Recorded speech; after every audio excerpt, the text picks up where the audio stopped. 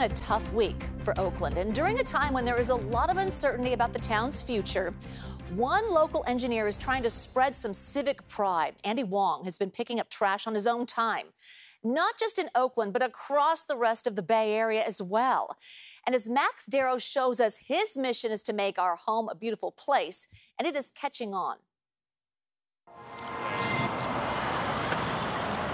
Utter shame. Among all of the trash littering this Oakland street corner is a Bay Area treasure. It doesn't have to be this way. And his name We're all in this together. is Andy Wong.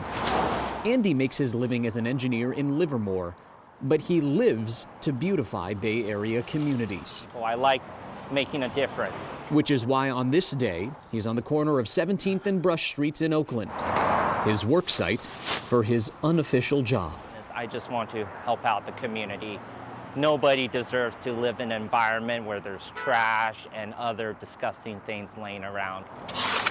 Andy spends his free time cleaning up hot spots for illegal dumping throughout the Bay Area. Up in San Jose, Hayward, Vallejo, He does it three to four times a week Concord, Oakley, because it is a problem uh, Milpitas. everywhere. I've even found illegal dumping take place in Pleasanton. It's a whack-a-mole kind of it problem.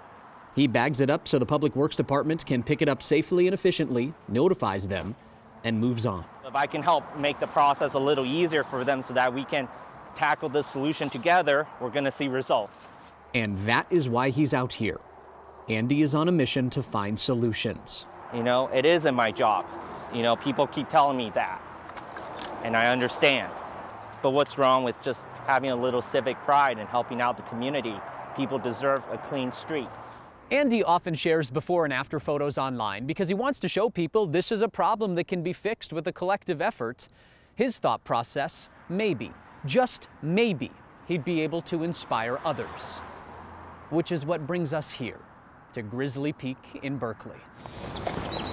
And just seeing him doing this month after month after month, setting that example is really what got me out here doing this. John Kirkham started the group East Bay Trash Pandas on a mission to clean up Grizzly Peak. We've been working up here for about six months. We've pulled over 18 tons of litter and illegal dumping off the mountain. As he and dozens of volunteers regularly clean up, We just cleaned this a couple weeks ago and it's already retrashed.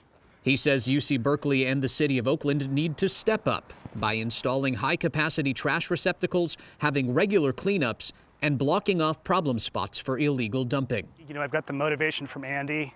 Why not come out here and try and help my community? I, I smile when I hear about that. It's not hard to see Andy's contribution to society, but he wants to take it a step further. And then I really am eager to work with cities, share my ideas on ways to prevent illegal dumping. You know, I've come up with some innovative like ideas and I really, really want to share them with cities. 21 bags and a whole lot of debris later, So much better. I'm happy. Andy has transformed yet another Bay Area street. You ask him why? He'll say, why not? I'm just an average guy, just trying to help out as much as he can because I care and I want each and every city in the Bay Area to thrive. A selfless person with the power to inspire a prettier picture of the place we call home.